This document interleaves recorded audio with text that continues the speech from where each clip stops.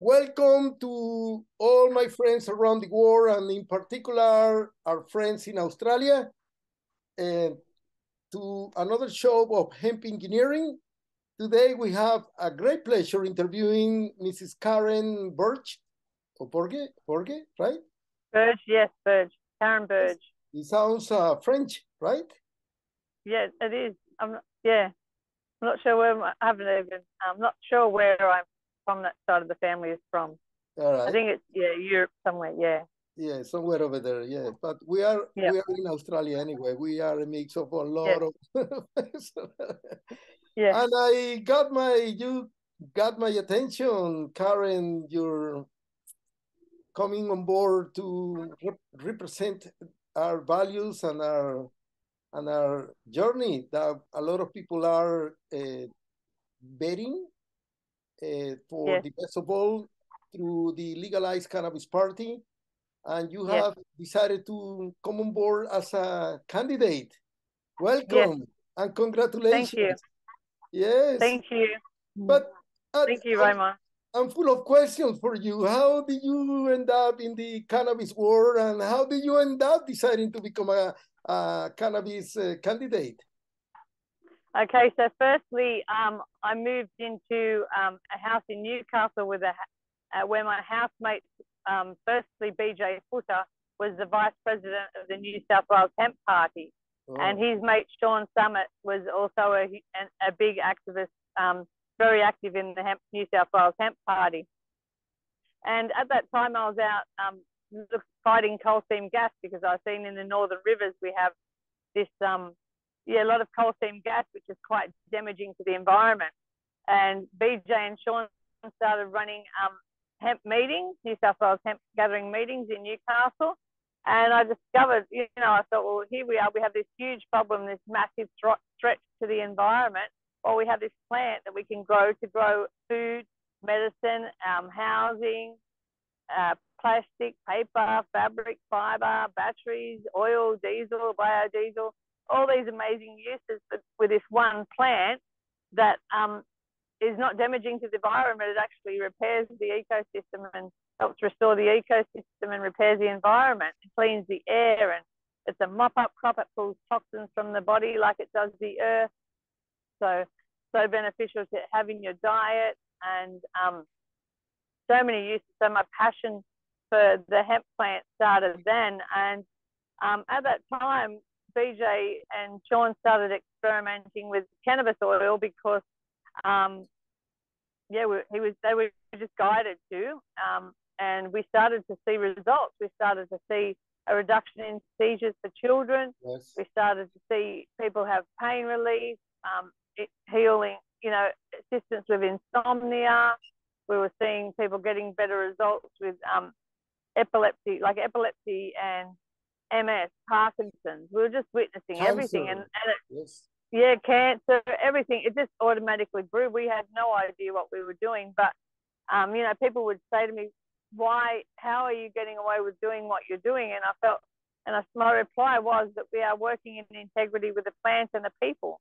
Yes. And a lot of people around me were scared when we started because we started the Church of Ubuntu um, almost a decade ago. We've been, you know, in the cannabis, supporting people with whole plant cannabis for almost a decade and advocating and, um, you know, we're just, yeah, people, you know, like I said, asking how we were getting away with it. We were, I was, for me, I just, I just felt that there was, once you learn the truth about this plant, you cannot stop. You cannot stop telling people. It's actually um, inhumane to not tell people. It's like, it's such a, it's um, really, I don't, I can't even put a word to it, what I would call the people that know the truth about this plant and are withholding it. It's just inhumane. You know, um, another thing when I realized was anyone that's withholding this plant from the people, all the government officials, all of them, um, big pharma, they're actually doing so to the detriment of themselves and their loved ones. You know, um, so yeah, my passion, my passion for the cannabis plant and ending prohibition about plant, this plant, and has grown over the years, and now we're witnessing it everywhere, and big farm, you know, big farmers taken over. Um, the government, there's all these restrictions on this plant that has no recorded death ever in history, and it's been consumed as food and medicine for thousands of years. Believed to be the most nutrient-rich food source known to man, um, or, Uh, or, Dr. William Courtney would say the most important vegetable on on the planet, and it's withheld from us. And so I was witnessing everyone having better quality of life, all these people having better quality of life, and then I was also witnessing the restrictions, the people that were missing out. And, you know, it was safe to grow in Canberra and South Australia, but it's not safe to grow everywhere else in Australia. You know, I was speaking to a, a client of ours that's 82 and she was so excited. She, um, that she can grow two plants in her backyard, one for her and one for her husband because she lives in Canberra. And it was her great grandson that just witnessed her having so much pain and said, Nan, please try cannabis, contact Ubuntu. And, and, you know, and then the police, you know, we started helping so many of their family and friends and their animals that they, you know, that they, um, that they didn't want to come and hurt, harm us because they knew that what we were doing is good and right. And, um, and, you know, we go, just, we've probably made mistakes over the years, but we've tried our best. And, and the difference with us is that it, um, we look at it as a lifestyle. You know, you, there's if we if we're and um, if we're sick, then there's something that's caused that disease or that illness or that there's an imbalance in our body that's caused. And more, you know, it's um major. Let's look at the major causes of disease: alcohol, cigarettes, yes, um, junk food, refined sugar, all available in multiple outlets in every single town. Uh, where this cannabis plant as food and medicine or recreational therapy, no recorded death ever. Um, one thing I want to stress too, a lot of people say, oh, someone's, you know, there's people addicted to it. Um, my first question is, is it hydroponic and or are they putting tobacco with it? And the answer is always yes. It's not the plant that they're addicted to, although I feel I do crave it because it's my, it, just keeps my, it's, it's, when consuming the cannabis plant, the uh, um, the purpose of that is to achieve and maintain homeostasis. So the objective of the plant when you consume it is to go in, achieve and maintain homeostasis. So I know I'm at my healthiest when I'm consuming enough hemp seeds every day. I've reduced the toxins I'm putting in on my body, and I'm looking at those things that caused the disease in, in the first place.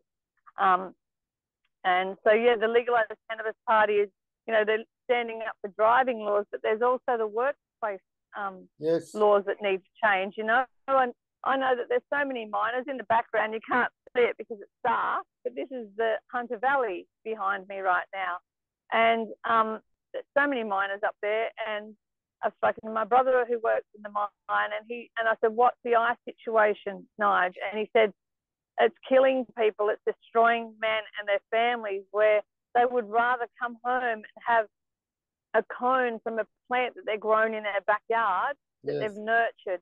And I, I know men, a very uh, well-known businessman, he's come up to me and said, Kaz, I'm a better father, I'm a better dad, I'm a better friend. All the, I, I know that there's so many men out there that would love, that would don't want to go to the pub with their mates. They want to be home with their family. So if they, you know, they would rather their choice of recreational therapy would be homegrown cannabis but because of the driving laws and the workplace laws, this is not an option for them. So yeah. it's, they're, they're going for ice and it's destroying families. This ice epidemic is a is another huge problem and and one of the probably one of the um one of the main reasons I'm, I'm you know standing and trying to get this bullshit laws changed. It's been you know used for thousands of years and and I feel prohibition is the gateway to needless suffering for all Australians. Mm, that's my opinion. I feel your hmm. emotion and I feel your passion, Karen, and yes. And within, if you were elected beyond the driving laws and the workplace absurdity of the level of what they do with their power to keep blocking the this kind of movement, which is sounds so. I can't really explain how what I feel for this. Uh, I, I, can understand. Yeah, yeah. I totally get it because they're not yeah. ignorant. The elite is not ignorant. They know better. They know that this is wrong. They know that this is full. Yeah. And they know that sooner or later doesn't matter what they do. They're already surrendered. They should they should declare themselves, I'm sorry. I I, I want to help. I was mistaken. I follow 80 years of narcissism from a country that imposed a global dictatorship on the rest of the world. And now they're changing the laws because they realize that they screwed up. And then the rest yeah. of the world now says, no, we don't want to go to the, we don't want to end up the provision. We're happy with the provision. yeah. it doesn't really make sense, you know? Yes. Yeah. yeah. Yeah. No, there's lots of um, lots of things that need to change. I believe, you know, we definitely deserve immediate affordable access. The people that um, those that are you know, the low income disadvantage, which is getting more and more now um, with all the rising land, you know, rates and things like that. It's making it, you know, the poverty level is, um, you know, becoming more prominent in our community and our environment and families. It's just, you know, there's so much, so much that needs to be done, but I think um, would be very much a positive movement forward to um, you know, end this prohibition and and make yes. it more affordable for the, yes. everyone. It's, yeah, it's not the big farmers' plant. It's not the government's plant. This plant, this plant was gifted to us. Yes. We're the people by, for create from creation. The same creator that created us created this and the plant. And um, and we were, I'm sure that we were not here to put on this earth to suffer and watch our fellow men and women suffer. I'm sure that um, you know I'm sitting here in the beautiful harbour, surrounded by beaches. I got the mountains behind me. I'm sure that we're put here to not only survive but thrive. And um, and yeah, I'll just go on now a little bit about hemp, um, before we wrap it up. That you know, we uh, my vision when I started here almost a decade ago now is what um, this is the biggest coal port in the world.